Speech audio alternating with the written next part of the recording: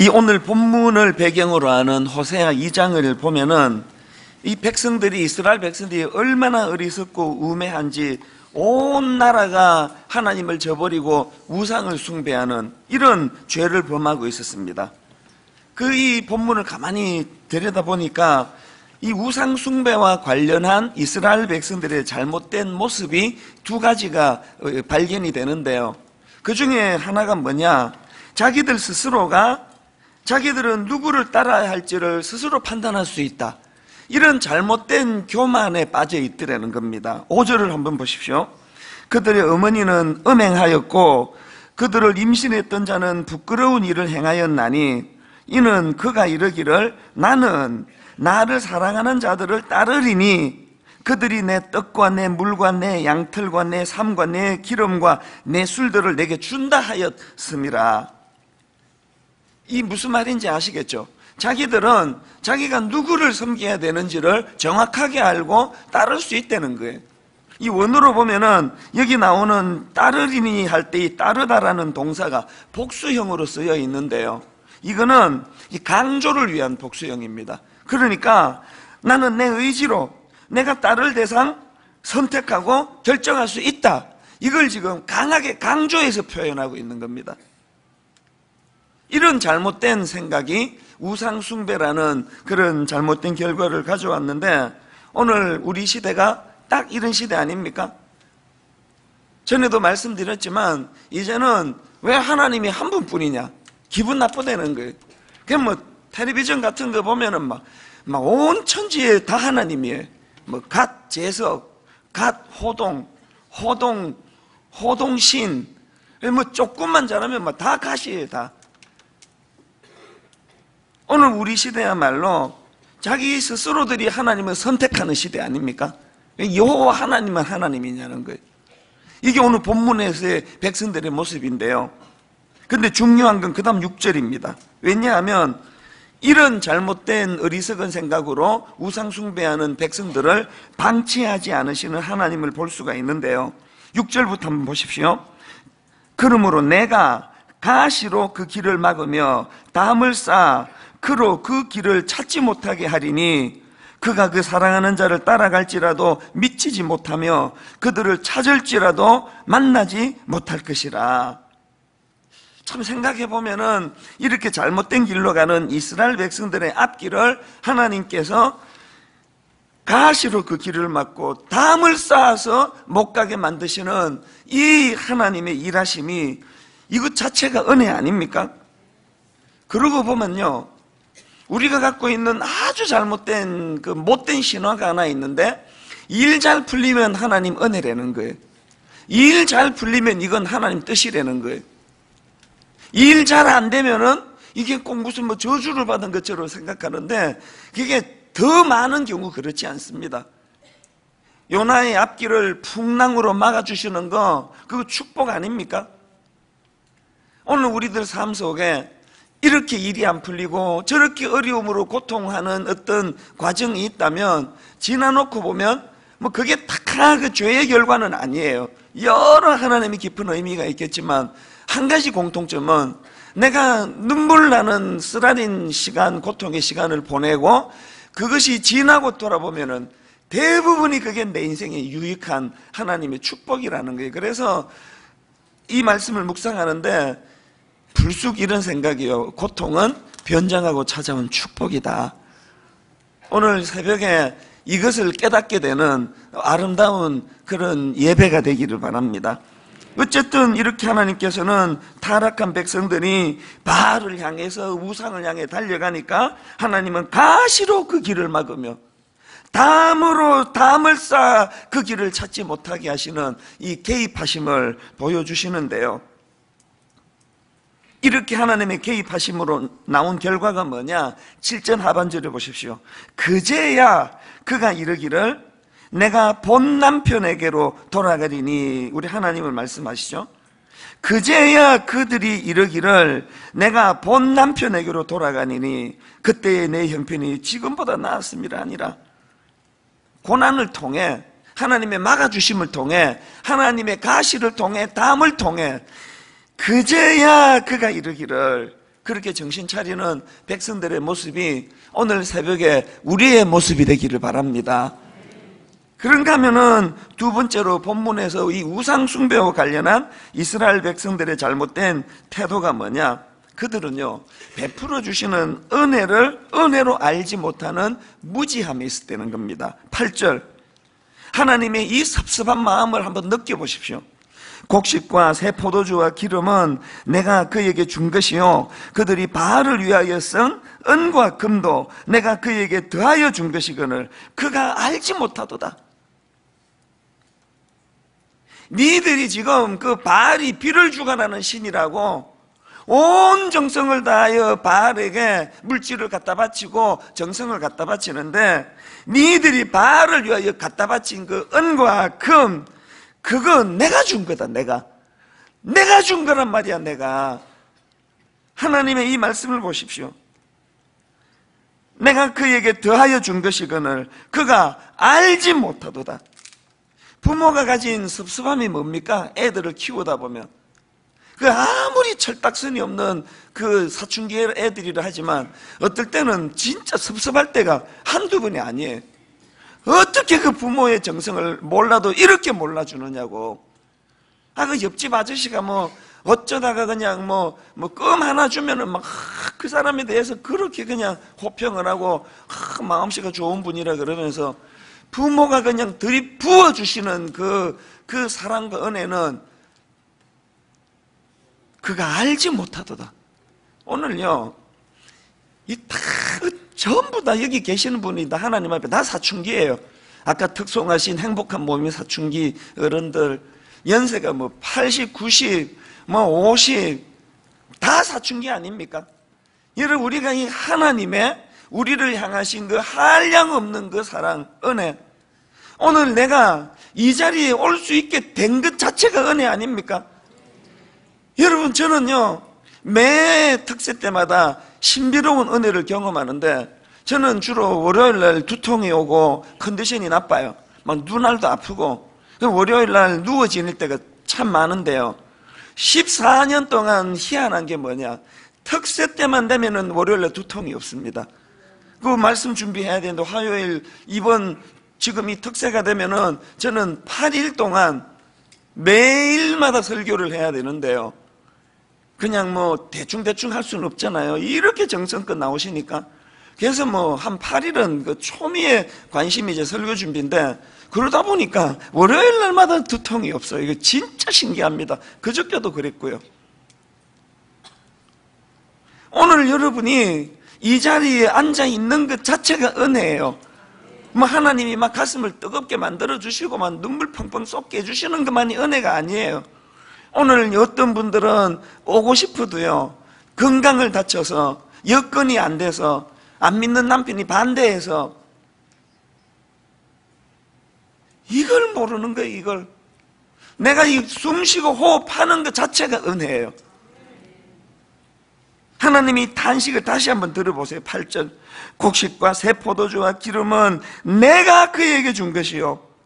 그들이 바알을 위하여 쓴 은과 금도 내가 그에게 더하여 준 것이거늘 그가 알지 못하도다. 오늘 우리 시대의 슬픔 중에 하나가 감사를 잃어버린 시대, 감사를. 최근에 그 어느 교수님 대화를 우리 교회 장로님이신데 교수님 회의하다가 그런 말씀 하시더라고요. 이 교수님들이 요새 이 젊은 대학생들이 취직이 안 되니까 막 그 제자들 그 취업을 위해서 얼마나 애를 쓰시는지 모르잖아요. 그렇게 수고를 해가지고 그냥 대학에 하는 일을 들, 그, 저, 뭐야, 취직하는 걸 도와주면은요, 그 도움 받아서 대학, 어, 저, 왜 자꾸 대학이래. 취직한, 그렇게 도움 받아서 취직한 그 제자들요, 스승님 감사합니다. 찾아와서 인사하는 사람이 열에 한두 명도 안 된대요. 취직되면 끝! 그게 오늘 우리 시대예요. 누가 여러분 다음 세대 이 우리 자녀들에게 감사를 모르는 사람, 괴물같, 괴물 같은 이런 사람으로 만들었습니까? 감사를 모르는 부모에게서 배운 게 그거 아니냐고요.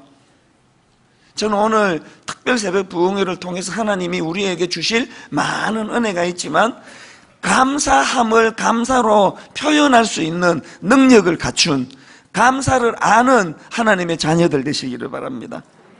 어쨌든 이스라엘 백성들은 이 하나님의 은혜를 망각하는, 모르는, 깨닫지 못하는, 그래서 감사를 모르는 이런 어리석은 모습을 보여줬는데 하나님은 이런 무지한 백성들에게 어떤 조치를 취하시느냐 구절을 잘 보십시오. 그러므로 내가 내 곡식을 그것이 익을 계절에 도로 찾으며 내가 내 새 포도주를 그것이 맛들 시기에 도로 찾으며 또 그들의 벌거벗은 몸을 가릴 내 양털과 내 삶을 빼앗으리라 오늘 그래서 빼앗긴 분들이 좀 계시지 않습니까? 하나님이 감사를 모르는 사람들에게 얼마나 섭섭해 하시는지 이걸 인식하셔야 된다는 거예요. 여기서 우리가 알 수 있는 게 뭡니까? 하나님은 당신의 자녀들이 잘못된 길로 나아갈 때 그 자녀의 삶에 개입하고 계시다는 거예요. 그래서 겉으로 보기에는 곡식과 새 포도주와 양털과 같은 소중한 재산을 잃어버리는 것이 이게 아픔이고 불행 같지만 사실은 이건 더 큰 불행을 막기 위한 하나님의 배려라는 게 하나님의 배려. 오늘 이런저런 고난을 겪고 계시는 분 그도 강조하지만 그 고난이 전부가 다 죄의 결과 아니에요.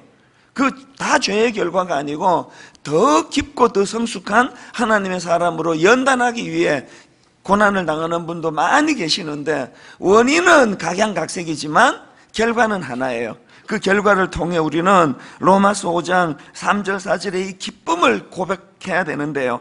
다만 이뿐 아니라 우리가 환란 중에도 즐거워하나니 누가 환란 중에 즐거워할 수 있느냐? 이는 환란은 인내를, 인내는 연단을, 연단은 소망을 이루는 줄 알미라. 내 이 환란 속에 하나님이 개입하신다. 하나님의 개입하심을 확신하는 사람들은 고난 중에도 이런 노래를 부를 수 있을 줄로 믿습니다. 자, 이렇게 하나님께서는 당신의 자녀들이 잘못된 길로 가려고 할 때 개입하셔서 그 길을 막으시고 담을 쌓으시고 가시로 그렇게 못 가게 하시는데요. 이렇게 하나님께서는 당신의 자녀들이 잘못된 길로 갈 때 막고 빼앗고 이런 식의 고난과 연단을 통해서도 일하지만 또 다른 일하는 방식이 하나 더 있습니다. 그게 14절에 나오는데요. 자, 14절을 보십시오. 그러므로 보라, 내가 그를 타일러 그친 들로 데리고 가서 말로 위로하고 하나님께서 그런 어떤 환경적으로 그 고난을 통해 이제 정신 차리기도 하시지만 하나님의 만져주시 위로하심이 있는데요. 제가 이 14절을 보면서 잘못된 길을 가는 자녀들을 향한 하나님의 세 가지 그 은혜로운 조치를 발견하는데 이걸 간단간단하게 좀 나누어 보려고 합니다. 첫째로요. 여러분 하나님께서는 사랑하는 자녀들이 엉뚱한 잘못된 길로 갈 때 하시는 첫 번째가 뭐냐? 설득하심이 설득하심. 방금 읽은 이 14절을 다시 한번 보십시오. 그러므로 보라 내가 그를 타일러 타일러 여기 나오는 이 타일러는요 영어 성경으로 얼루어라는 단어인데요 이 얼루어라는 단어는 이성이 상대방을 유혹할 때 쓰는 단어 꾀다 유혹하다 이런 뜻을 가진 단어라는 거예요 지금 하나님께서 엉뚱한 길로 가는 당신의 자녀들을 타이르는데 그 타이름이 이성에게 마음을 살려고 그를 꿰다 유혹하다. 여러분 그 연애할 때 그 우리 때는 그 인터넷이 없으니까 편지 손편지 시대 아닙니까? 여러분 사랑하는 여자친구가 하나 생길 듯 말 듯 할 때 그 여자친구를 설득하려고 내가 얼마나 좋은 남자라는 걸 보여주려고 여러분이 얼루어 했던 그 기억나십니까? 온 정성을 다해가지고 저는 선 봐서 결혼했거든요. 저희 집사람을 처음 만난 그날 이제 2시에 만났는데요. 내 온 정성을 다하여 저보다 7살 어린 이 여자랑 결혼하고 싶어가지고 설득을 설득을 온 정성을 다했는데 처음 만나가지고 5시간인가 6시간을 설득했습니다. 그 여자는 가만히 듣고 있고 혼자서 계속 설득하고 설명하고 막 미국에서 내가 왜 나왔는지 막 별의별 말로 다 설득을 했습니다. 내가 지금 시민권을 갖고 있는데 어? 미국 시민권자인데 혹시나 당신이 미국 유학을 가고 싶다면 내가 언제든지 내가 갈 수 있다. 막 이런 말로 시작해가지고 얼루어 설득을 얼마나 열심히 했냐면 나는 하나님께서 어? 배우자와 그 남자가 같은 곳을 바라보고 같은 꿈을 꾸게 만드신다고 믿는다. 그래서 혹시 당신이 그 목사 부인 되는 게 너무 힘들다면 내가 목사를 안 할 수도 있다. 우리 둘이는 같은 곳을 바라볼 수 있다. 그러면서 막 아, 그건 진심이었습니다. 하나님께서 그 가정을 주실 때 부부가 한 방향을 보게 하시니까 어, 이 배우자가 내게 주신 하나님의 배우자가 확실한데 그가 목회자 어, 아내가 되는 걸 그걸 절대로 그걸 그거 하나님 뜻이 아니라고 생각한다면 제가 목회 안 할 생각도 가졌거든요. 그렇게 그렇게 그냥 설득을 했는데요. 한 다섯 시간, 여섯 시간 제가 설득을 했는데, 아, 더 할 수 있었는데, 이 사람이 청년부 모임 가야 된다 그래서, 아, 오늘은 그럼 간단하나마 이렇게 하고, 또 내일 다시 만납시다. 그래가지고, 설득을 설득을 해서, 저희 집 사람이 결혼하고 나가지고, 신혼여행 가서 그런 얘기 하더라고요.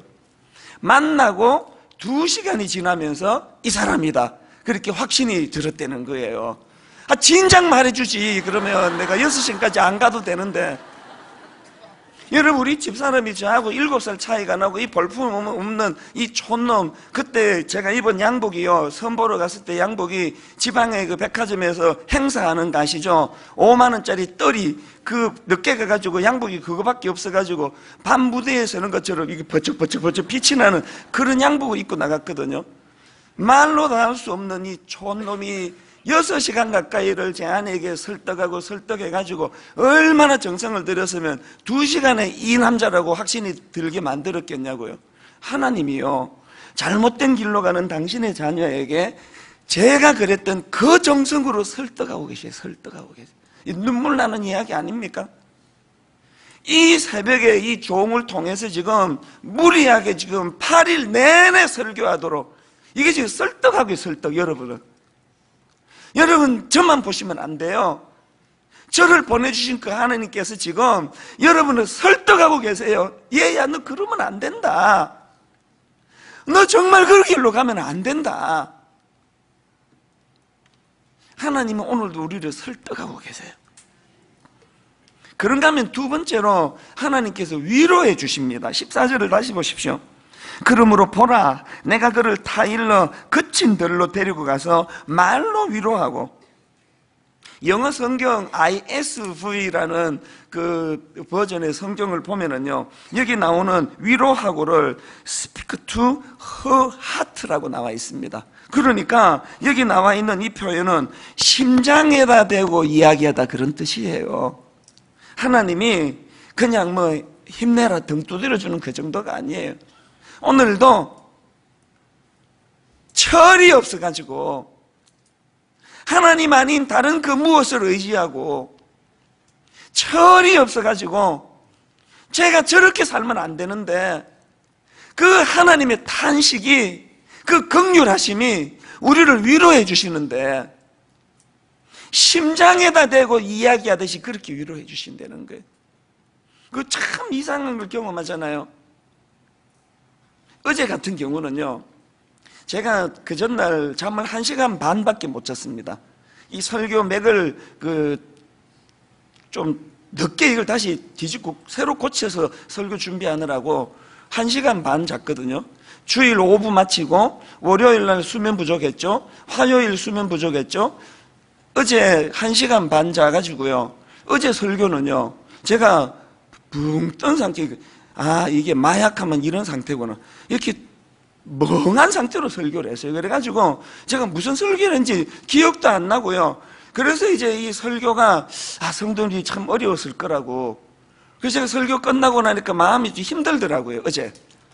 그냥 안 그래도 그랬는데 마음이 좀 힘들어가지고 집에 가서 이제 아침을 먹으면서 제 아내의 그 청중이 또 제 아내가 참석한 청중이니까 제가 물어봤습니다. 오늘 설교가 조금 좀 지루하거나 힘들지 않았냐고 그랬더니 이 여자가 하는 말이 야 기적이다 이런 생각이 들었대요. 그래서 제가 그 어려움 중에도 은혜 받았나 보다니 그게 아니고 저렇게 설교해도 사람이 이렇게 몰려드는 게 정말 기적이다. 자기는 설교를 들으면서 그 생각을 했대요. 넥타이도 어제 이렇게 삐딱하게 하고 막 그냥 그런 설교를 하는 걸 보면서 자기가 기적이다. 사람들을 둘러보면서. 근데 두들겨 패고 싶더라고요, 이 여자를. 아, 이건 농담이고요. 아, 이제 밥 먹으면서 농담을 한 이야기지만 그러니까 이 마음이 제가 가슴이 털컥 내려앉잖아요. 야 어제 진짜 이게 설교 진짜 이게 힘들었나 보다. 그랬는데요. 어제 지난 며칠 동안에 제가 제일 많은 위로를 받았습니다. 말씀에 은혜 됐습니다. 많이 울었습니다. 게시판에도 그 막 울었다는 글이 올라오는 거예요. 제가 어제 왜 위로를 받은지 아십니까? 제 약함으로 한 시간 반 수면이 좀 부족해도 엄벙덤벙 말씀을 제대로 조리 있게 못 전하는 결함을 가진 종을 하나님이 사용해서라도 하나님께서는 그 말씀을 듣는 성도들에게 심장이다 대고 이야기하시는 하나님의 마음을 느끼게 해주시니까 설교자가 오늘 설교 죽 썼다 싶어가지고 마음이 힘들고 무거운 그 시간에 어떤 사람은 그 설교를 듣고도 팍팍 눈물을 흘릴 수 있는 거예요. 오늘 저는 여러분이 제 컨디션에 의지하고 제 이 말 솜씨에 의지하는 그런 예배가 아니라 저 내면에 저를 통해 일하시는 하나님의 이 심정, 그 잘못된 길로 가고 있는, 그래서 고생하고 있는 우리를 향한 하나님의 심정, 이 심정이 위로해 주시는 하나님의 심정이 와닿는 그런 여러분 되시기를 바랍니다. 그런가 하면은 세 번째로요. 회복을 주십니다. 회복. 호세아 2장 23절을 보니까요. 내가 나를 위하여 그를 이 땅에 심고 극률이 여김을 받지 못하였던 자를 극률이 여기며 내 백성 아니었던 자에게 향하여 이르기를 너는 내 백성이라 하리니 그들은 이르기를 주는 내 하나님이시라 하리라 하시니라. 여기 보면은 극률이 여김을 받지 못하였던 자를 극률이 여기고 이게, 이게, 이게 뭘 말하는지 여러분 다 아시잖아요. 이게 바로 로, 루하마의 저주에 빠진 인생을 루하마로 바꿔주시는 하나님을 말씀하는 거 아닙니까? 그 다음에 로함미, 그러니까 내 백성이 아니었던 자에게 향하여 이르기를 너는 내 백성이라 하리라. 이건 뭐예요? 나는 날 때부터 나는 하나님의 자녀될 자격이 없다. 나는 로함미다. 이 로함미의 인생을 암미로 바꾸어 주시는 그 하나님의 일하심을 지금 말씀하시는 거 아닙니까? 저는요, 이 호세아 2장 23절을 보면서 저는 앞에 두 가지밖에는 못해요. 설득까지는 제가 할 수 있습니다. 위로까지는 제가 할 수 있습니다. 그러나 회복 저는 못해요. 하나님은 하실 줄 믿습니다. 하나님께서 오늘 여러분을 설득해 주시고 위로해 주실 뿐 아니라 여러분 내면에 이 회복에 대한 확신을 오늘 심어 주실 줄로 믿습니다. 이 확신. 그래서 어제 살펴본 고멜, 고멜의 그 고멜을 향한 호세아의 그 눈물 나는 그 말씀이요. 나를 기다리시오. 그동안 나도 기다리겠소. 이 고멜을 향한 호세아의 애절한 호소는요. 그 타락한 이스라엘 백성들을 향한 여호와 하나님의 마음이라고 말씀드렸잖아요. 나를 기다려라. 나도 너희를 기다리마. 오늘 이 하나님의 기다려 주심으로 오늘 우리가 여기까지 올 수 있게 되었고요. 그 하나님의 기다림 속에는 뭐가 내포되어 있습니까? 회복을 향한 자신감. 뭐 아무리 그냥 엉뚱한 길로 가고 뭐 망한 것 같고 지금 뭐 벼랑 끝에 있고 심지어는 절벽에서 떨어져 있는 상태라 할지라도 오늘 여호와 하나님께서는 그를 설득하시고 위로하실 뿐만 아니라 회복의 자리로 인도해 주실 줄 믿습니다. 여러 번 말씀드렸지만 지난 여름에 저는 깊은 슬럼프에 빠졌습니다. 그 선교단체 청소년 선교단체에 몹쓸 짓을 했던 그 목사 소식이 일파만파로 퍼져나가고 종편에서는 대놓고 우리 하나님을 조롱하고 이런 절망적인 상황에 사단이 저에게 과장된 좌절을 심어줬습니다. 한국교회 끝이다. 이제 희망 없다. 내가 이렇게 수치스러운 대한민국의 목사로 계속 살아야 되나? 다 때리치우고 가족 있는 미국으로 돌아가야 되겠다. 별의별 마음에 과장된 두려움이, 과장된 절망이 저를 엄습해서 날씨는 더워 죽겠죠. 밤에는 더워 잠, 잠은 안 오죠. 그 깊고 깊은 슬럼프에 제가 빠져 있었는데요. 그러고 있던 어느 새벽이에요. 그날도 새벽에 2시 반 눈이 떠져 가지고요. 눈에 들어오는 책이 하나 있는데 존 스토트 목사님이 쓴 리더가 리더에게라는 그 책이 눈에 들어오더라고요. 그래서 새벽에 2시 반에 일어나 가지고 잠이 안 와 가지고 그때는 제가 또 설교도 쉬고 있을 때 아닙니까? 그래서 새벽에 그 책을 읽다가 단어 하나가 제 눈에 그때 발견된 단어가 우크 엔카쿠멘이라는 단어예요. 이 우크 엔카쿠멘이라는 단어는 고린도후서 4장 1절에 나오는 단어인데요. 그러므로 우리가 이 직분을 받아 극률하심을 입은 대로 낙심하지 아니하고 우크 엔카쿠멘 또 16절 그러므로 우리가 낙심하지 아니하노니 우리의 겉사람은 낡아지나 우리의 속사람은 날로 새로워지도다 여기 나오는 낙심하지 아니하고 낙심하지 아니하노니 이게 우크 엔카쿠멘이에요 제 상태가 그런 상태였거든요. 낙심해 있던 상태. 한국 교회 끝이다. 뭐 한두 교회 뭐 그냥 발부둥 쳐서 이게 회복될 문제가 아니다. 이제 우리 소망 없다. 이제 우리 한국 교회는 유럽 그 수, 수백 년, 뭐 천 몇백 년, 이천 년의 역사를 가진 유럽도 저렇게 저렇게 지금 저 모양인데 뭐 한국 사회에 기독교가 뭐 뿌리가 있기를 합니까? 역사가 있기를 합니까? 문화가 있기를 합니까? 이대로 이제 우리는 끝났다. 그렇게 낙심해 있는 저에게 하나님이 그 새벽에 이 말씀을 저에게 주신 거예요. 그래서 저는 이 우크 엔카쿠멘이라는 그 새벽에 그 말, 그 단어를 제가 옮겨 적으면서 오늘도 하나님이 제게 개입하고 계시는 거예요. 제 방에 그 많은 책 중에 그날 그 리더가 리더에게라는 책이 왜 제 손에 잡혔으며 그 책이 그, 그 뭐, 그 뭐 얼마나 그 말이, 내용이 많은 책이겠습니까? 그날 하필 저에게 이 우크 엔카쿠멘이라는 이 단어를 저에게 주시는 그 하나님의 섬세하심을 보면서 많은 위로를 받은 거 아닙니까? 하나님의 설득하심 얘야 정신 차려라 네 지금 과장된 낙심이다 이거 교회가 망하기는 왜 망해? 십자가 지신 예수 그리스도가 교회의 주인인데 피로 값주고 사신 그 교회 안에 복음을 죽여놓은 너희 같은 종들의 타락으로 생기는 결과이지. 지금이라도 복음을 일깨워. 지금이라도 복음의 능력을 교회 안에 나타나 심어. 지금이라도 피 묻은 십자가 예수 그리스도가 선명히 드러나도록 니들이 정신 차리고 일한다면 교회는 회복될 것이다. 교회는 살아난다. 한국교회 제2의 부흥의 때가 반드시 올 줄로 믿어라. 그 새벽에 제게 주신 하나님의 말씀이거든요. 오늘 저는 결론을 맺으러 갑니다. 무슨 일로 과장된 낙심에 빠져 계세요? 무슨 일로 과장된 눈물을 흘리고 계세요? 무슨 일로 우리 집은 끝이다. 우리 아이들은 더 이상 어렵다. 우리 남편과의 회복 안 된다. 무슨 일로 그런 과장된 낙심에 빠져 있는지 모르지만 오늘 새벽에 성령님께서 저에게 주신 우크 엔카쿠멘 그러므로 우리가 낙심하지 아니하노니 우리가 사방으로 우겨쌈을 당하여도 쌓이지 아니하며 답답한 일을 당하여도 낙심하지 아니하며 그러므로 우리가 낙심하지 아니하노니 우리의 겉사람은 낡아지나 우리의 속사람은 날로 새로워지는도다 그날 새벽에 제가 한국교회에 여전히 신실하게 이럴 데 없는 수많은 목사님들을 위해 기도했습니다.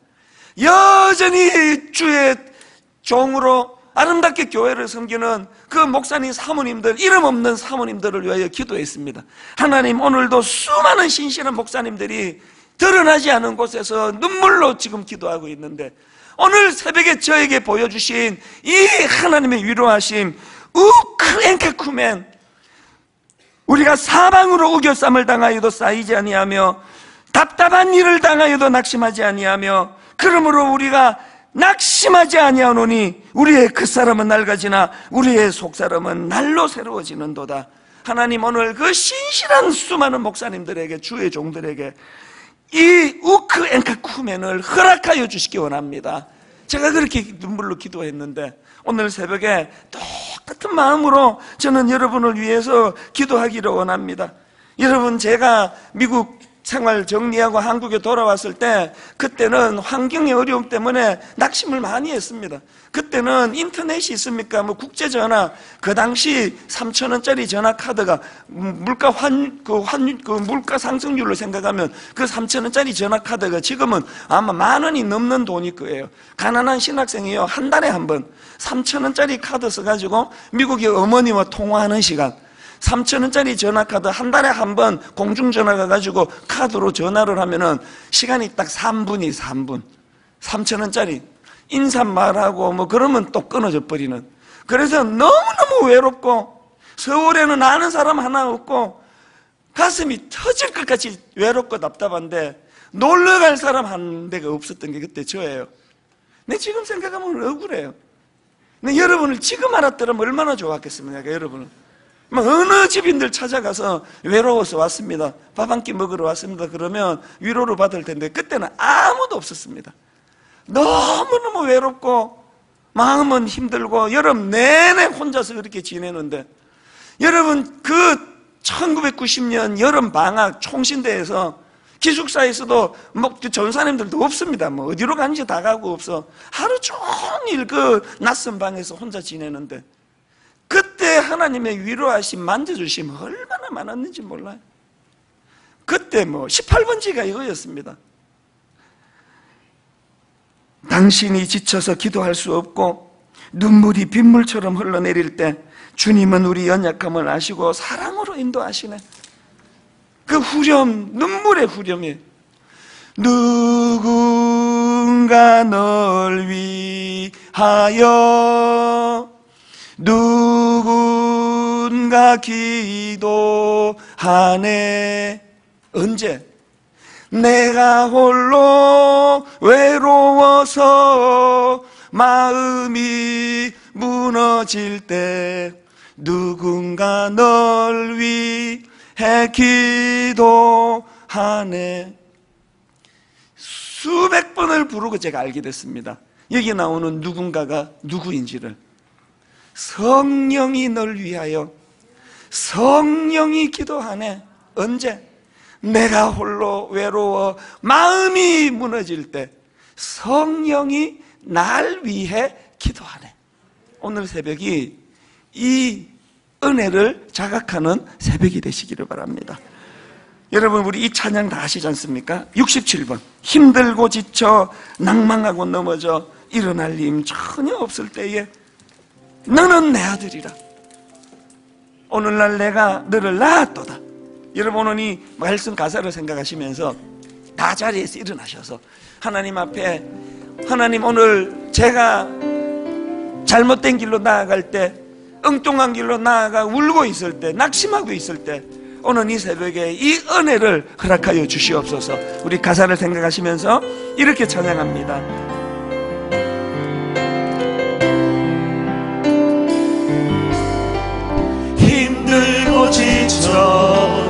낭만하고 넘어져 일어날 힘 전혀 없을 때에. 조용히 다가와 손 잡아 주시며 나에게 말씀하시네. 나에게 말씀하시네 나에게 실망하며 내 자신 연약해.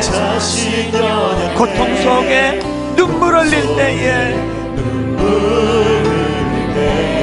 못 자국 난 그 손길 눈물 닦아주시며 나에게 말씀하시네 말씀하십니까? 너는 내 아들이라.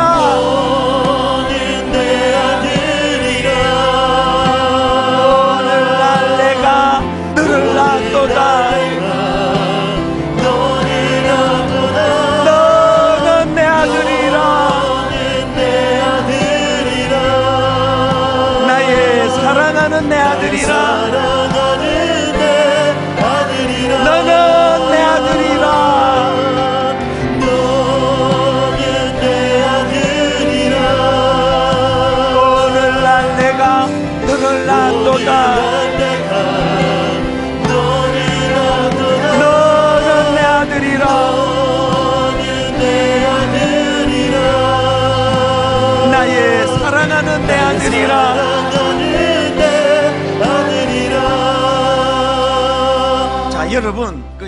지쳐 낭망하고 있고요. 또 너무너무 외롭고요. 온 세상에 나 혼자인 것 같은. 여러분, 제가 23살 때 미국 이민 가서 첫 번째로 제가 경험한 게 그거였습니다. 영어 못하는 것도 이래갖고 내가 이게 미국 대학을 졸업하겠나? 이런 마음에 부담이 드는 것도 다 이길 수 있는 감정이었습니다. 제가 23살 이민 가서 전가족 이민이래 가지고요. 뭐 가족들 다 앞에 옆에 다 살았는데도 이런 느낌 아세요? 텅 빈 들판에 혼자 서 있는 것 같은 느낌? 그 느낌 아세요?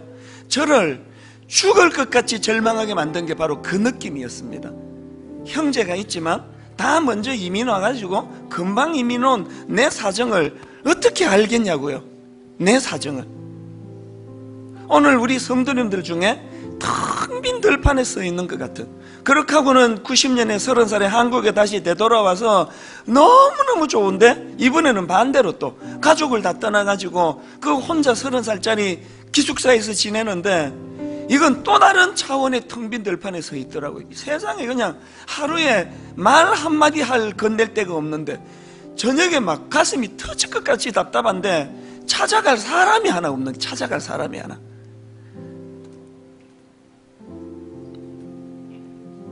제가 어제 밤에 이 말씀을 정리하다가 오늘 우리 현대인들이 그럼 왜 이렇게 외로운 건가? 왜 이렇게?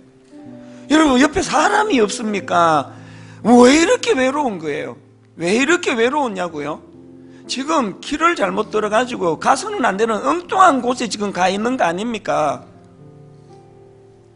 그 바알신 옆에 지금 가가지고 그 바알을 섬기는 사람들하고 섞여 있으니까 마음이 통합니까? 대화가 되기를 합니까? 외로울 수밖에요.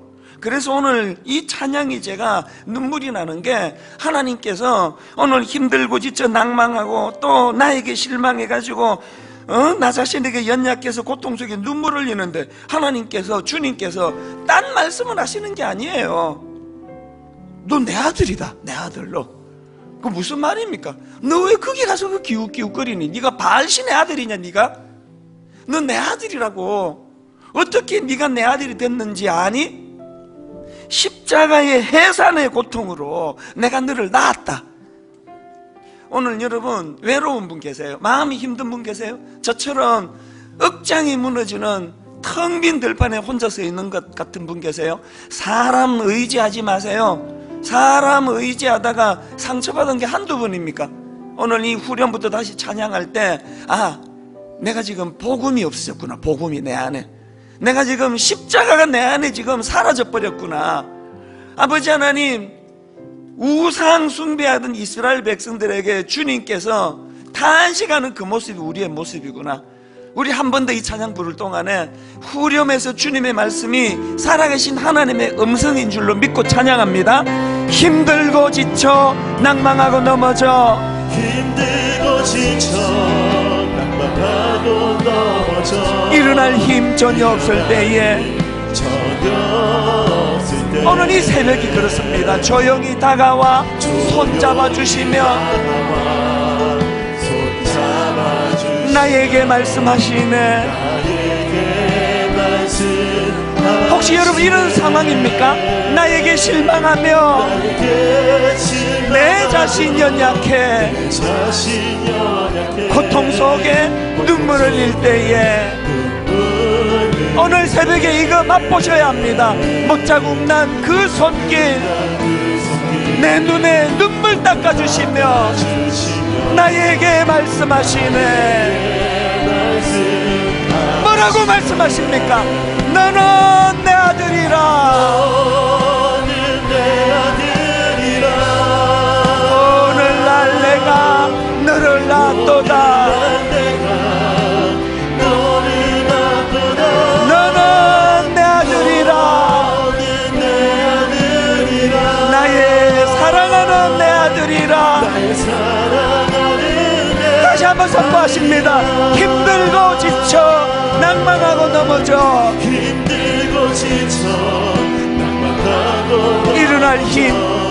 없을 때에. 여러분이 가세요? 조용히 다가와 손 잡아 주시며 나에게 말씀하시네. 나에게 실망하며 내 자신 연약해. 고통 속에 눈물 흘릴 때에 여러분 십자가 십자가. 못자국 난 그 손길 눈물 닦아주시며 나에게 말씀하시네.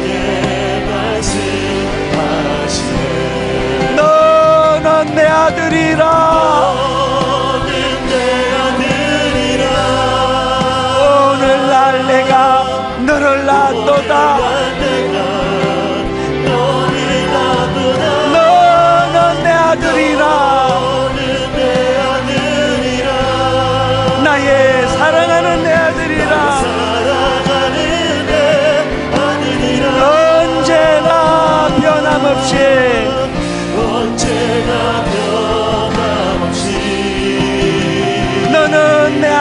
내 여러분 이거 어떻게 가능했습니까? 나의 십자가 고통. 해산의 그 고통으로 내가 너를 낳았으니 너는 내 아들이라 내 아들이라. 오늘날 내가 너를 낳도다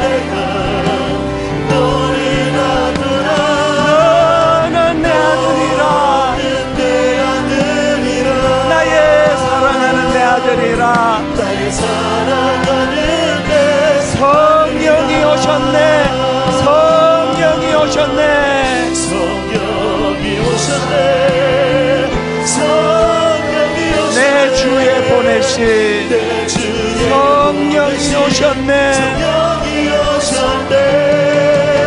우리 인생 가운데 가운데 친히 찾아오셔서 그 나라 하시네 여러분 다시 한번 힘을 얻어 성령이 오셨네. 성령이 오셨네.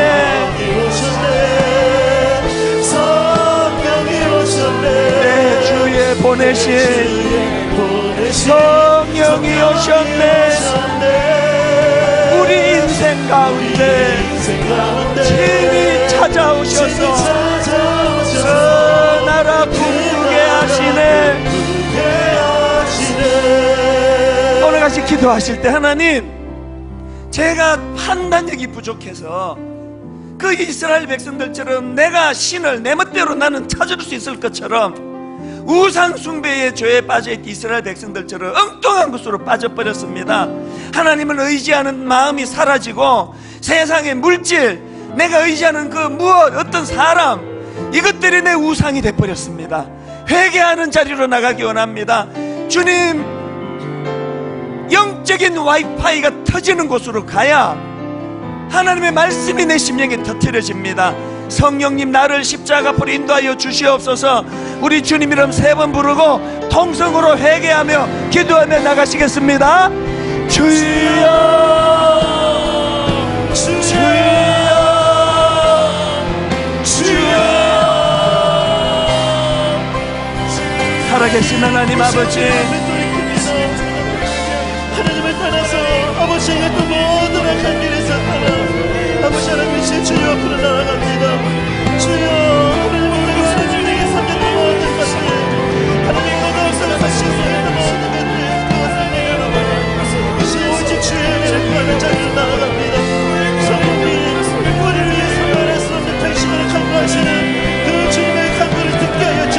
주의하소서. 우리의 길을 열어주셔서 말할 수 없는 당신을 강구하시며 말할 수 없는 같은 시간을 위해서 기도하시는 그 성령의 성인가에 주시옵소서. 눈을 열어주시옵소서. 귀를 열어주시옵소서. 하나님의 은혜 보가해 주시옵소서. 하나님 도와주시옵소서.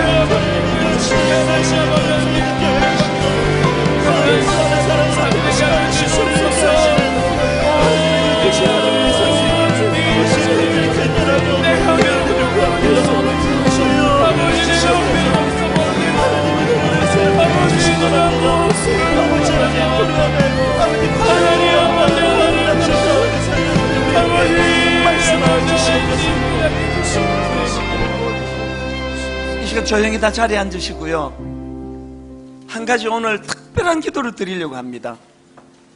할 수 있다면 불을 다 꺼주시면 좋겠습니다. 어제부터 하나님 제 마음에 계속 그 부담을 주시는데요.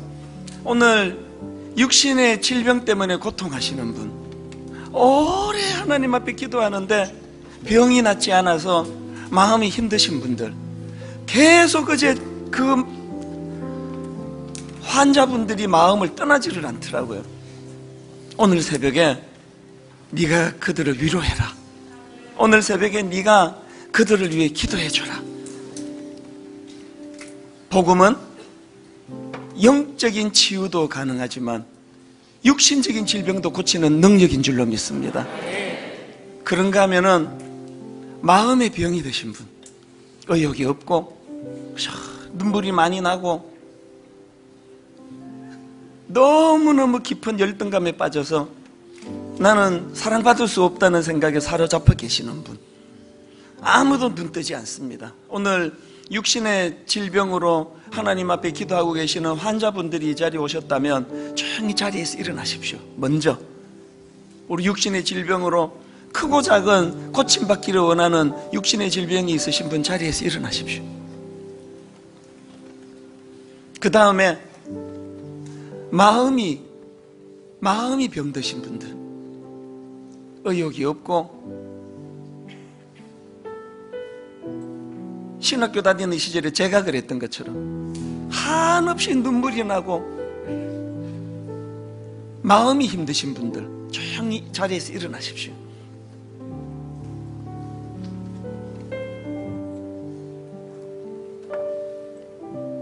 하나님, 저는 마음을 마음이 상해 있습니다. 이 상한 마음을 가지고 사람에게 위로받으려고 갔다가 더 큰 상처를 받은 게 한두 번이 아닌데 오늘 이 새벽에 우리를 설득해 주시고 우리를 위로해 주시고 우리를 회복의 자료로 인도하시는 그 하나님 앞으로 나가기를 원합니다. 육신적으로 고침을 받기 원하시는 분은 아픈 부위에 손을 얹으시고요. 상징적으로 하나님 앞에 마음이 힘드신 분들은 자기 가슴에 손을 얹으시고 하나님 내 마음이 치유받기를 원합니다. 오늘 십자가 앞으로 나아가 십자가가 능력임을 맛보기를 원합니다. 우리 앉아 계시는 분들은 일어서신 분들을 축복하며 하나님 이분이 왜 일어섰는지 저는 알지 못합니다만 성령님 치유의 광선을 발하여 주시옵소서. 일어서신 분들은 자기의 연약함을 놓고 하나님 오늘 이 시간 내가 기도할 때 성령님께서 우리를 십자가 앞으로 인도하여 주심으로 반드시 치료하여 주실 줄로 믿습니다. 역사하실 줄로 믿습니다. 고침받게 될 줄로 믿습니다. 성령님 우리를 은혜의 자리로 인도하여 주시옵소서. 우리 다 같이 통성으로 같이 기도하시겠습니다. 살아계신 하나님 아버지 오늘 하나님 은혜를 구하며 하나님 앞에 아버지 시간 기도합니다. 성령님 성령님 우리를 인도하여 주시옵소서. 우리를 십자가 앞으로 인도하여 주시옵소서. 세무던 예수 그리스도 하나님 아버지 아버지께서 우리를 치유하여 주시고 치료의 관천을 하여 주시게 하여 주시옵소서. 인도하여 주시옵소서 주께서 손을 내리시는 열병을 가려고 주께서 당신의 모자를 아버지 주님의 말씀을 주여 주의 능력의 손을 맺혀주시고 주의 손길을 멈춰주시고 하나님 하나님 하나님께서 이 시간 외치면 광선을 펼치시고 주의 얼굴을 인하여 살아계신 우리 하나님 쏟아시 회복되어지며 주님께서 만날 우리를 회복시켜 주시는 그대로 말미암아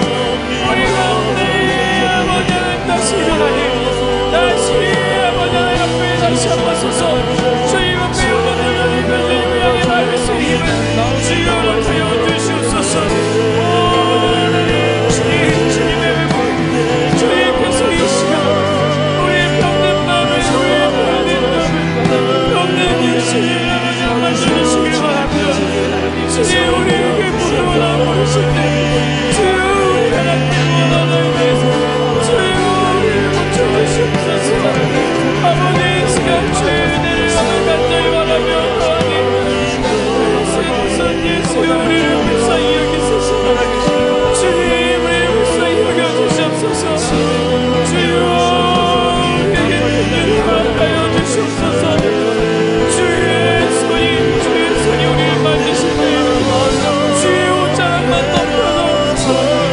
말씀만 하셔도 우리 아버지 하나님 치료되고 계속 기도하실 분 계속 기도하시고 그 성령님 앞으로 찬양하며 이렇게 나가기 원합니다. 성령이 널 위하여.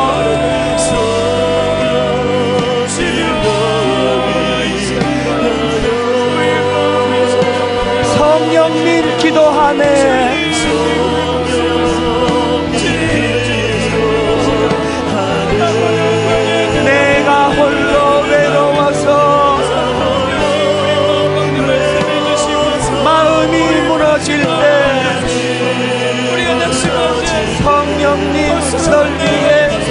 기도하네 우리 속사람이 새로워지는 낙심하지 않고 다시 일어서는 살아계신 하나님 아버지 오늘 육신의 연약함 때문에 오래 병마와 싸우며 어떨 땐 낙심하고 어떨 땐 좌절하며 이 병은 고쳐지지 않는가 보다.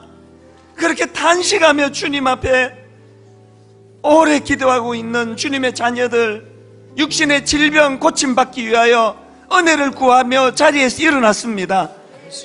하나님 아버지 이 시간 초라하기 짝이 없는 부족한 이찬수 목사의 눈물을 외면하지 않으시고 저의 눈물을 닦아주셨던 그 신실하신 하나님께서 오늘 자리에서 일어나 눈물로 은혜를 구하는 사랑하는 주의 자녀들에게도 치료의 광선을 바라여 주시옵소서. 아멘. 은혜의 광선을 바라여 주시옵소서. 아멘 마음이 상하고 마음이 외로워. 오래 아버지 마음이 병들어 주님 앞에 은혜를 구하며 일어난 주님의 자녀들. 그 상한 마음을 가지고 사람에게 위로를 받아보려고 그렇게 애쓰며 사람 찾아다니다가 얼마나 더 큰 상처를 받고 마음 문이 닫혀지고 오늘 이렇게 저렇게 상한 주님의 자녀들 자기 가슴에 손을 얹고 아버지 내 상한 마음을 치료해 달라고 눈물로 울부짖어 기도하는 저들의 눈물을 외면치 않으실 줄로 믿습니다. 아멘 사랑하는 아들아, 사랑하는 내 딸아, 네 눈물을 보았노라. 나, 나, 내가 네 눈물을 보았노라. 하나님 아버지 오늘 저 상한 주님의 자녀들 눈물을 닦아주시고 오늘도 하나님은 우리를 위로하고 계시고 설득하실 뿐만 아니라 우리를 회복시켜 주시는 회복자 되심을 확신하고 확정하는 새벽이 되게 하여 주시옵소서. 아멘. 저들의 상한 마음을 치료하여 주시옵소서. 아멘. 저들의 상한 마음을 고쳐 주시옵소서. 아멘. 저들의 상한 마음을 교활하게 공격하는 악한 사단의 세력들을 물리쳐 주시옵소서. 아멘. 너는 내 아들이라 내가 십자가에서 그 엄청난 고통으로 내가 너를 낳았다 너는 내 아들이다 너는 내 딸이다 오늘 이 새벽에 그 한없는 하나님의 은혜가 저들의 상한 마음을 치유하고도 남는 능력이 되게 하여 주시옵소서 아멘. 육신적으로 영적으로 마음적으로 병든 그 모든 것들을 깨끗이 치유하여 주시옵소서 아멘. 예수님 이름으로 기도드립니다. 아멘. 아멘. 자리에 앉으셔서 여러분 송명희 시인 오래 육신의 연약함으로 그러나 마음속에 어려움이 마음속에 어려움이 있을 때 마음속에 어려움이 있을 때 주님 내게 먼저 오사 내 마음을 만지고 그러면 되는 거 아닙니까? 우리 같이 찬양 하나님 앞에 불러드릴 때 내 마음의 치유가 찬양 가운데 일어나기 원합니다. 마음 속에 어려움이 있을 때 마음 속에 어려움이 있을 때 마음 속에 어려움이 있을 때 마음 속에 어려움이 있을 때 마음 속에 어려움이 있을 때 마음 속에 어려움이 주님 내게 먼저 오사. 내 마음을 만지고. 주님 앞에 나올 수 없을 때. 주님 앞에 나올 수 없을 때. 주님 앞에 나올 수 없을 때. 주님 앞에 나올 수 없을 때 주님 앞에 나올 수 없을 때 주님 앞에 나올 주님 날 먼저 안으시네. 우리가 연약하지만 그럼에도 불구하고 날 사랑하시는 내 하나님의 사랑은 나의 모든 걸 돕고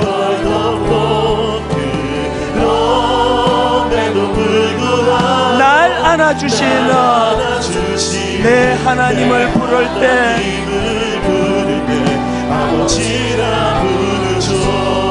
마음속에 어려움이 있을 때 마음속에 어려움이 있을 때 마음속에 어려움이 있을 때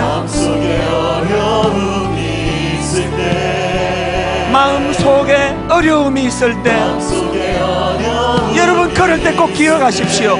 주님 내게 먼저 오사. 내 마음을 만지고 내 마음을 만지고. 주님 앞에 나올 수 없을 때. 주님 앞에 나올 수 없을 때. 주님 앞에 나올 수 없을 때 이럴 때꼭 기억하십시오. 주님 날 먼저 안으시네. 초라한 우리 인생이지만 그럼에도 불구하고 날 사랑하시는 내 하나님의 사랑은 나의 모든 걸 덮고 그럼에도 불구하고 날 안아주시는 내 하나님을 부를 때 아버지라 부르죠. 여러분 다 자리에서 일어나십니다. 그럼에도 불구하고 날 사랑하시는 내 하나님의 사랑은 나의 모든 걸 덮고 그럼에도 불구하고 날 안아주시는 내 하나님을 부를 때 아버지라 부르죠. 예수 이름 높이세.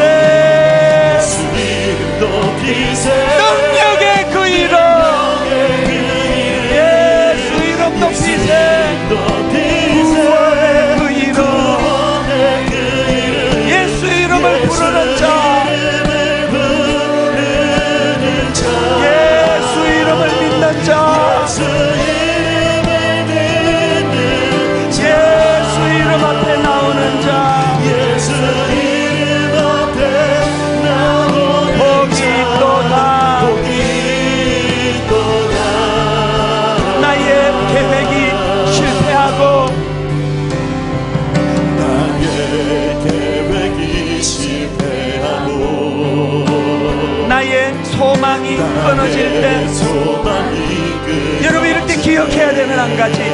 삶의 주관자 되신 그분 앞에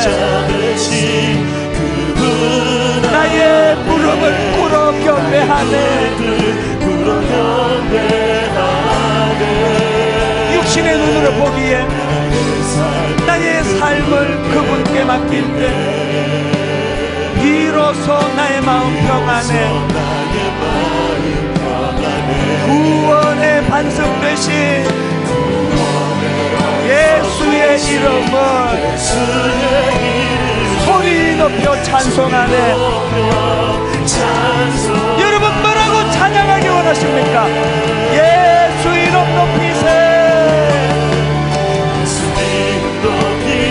능력의 그 이름 예수 이름 높이세. 구원의 그 이름 예수 이름을 부르는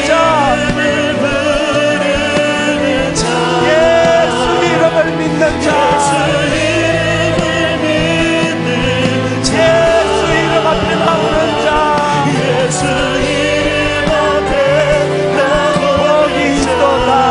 복이 우리 마지막으로 두 손 높이 들고 주님을 찬양합니다. 예수 이름 높이세. 높이세 예수 이름 높이세